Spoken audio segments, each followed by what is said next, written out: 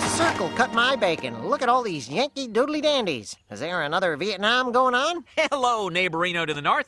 I sure like the cut of your gibberish. Cohen doodly Diddly diddly. oodly, doodly. oodly, a loony doodly. oodly, Noodly doddly diddly doddly. Shut loony the diddly daddler Atner. maple idly, Doodly doddly diddly diddly doddly. Say, would you like to puff on a reeferino? It's legal here.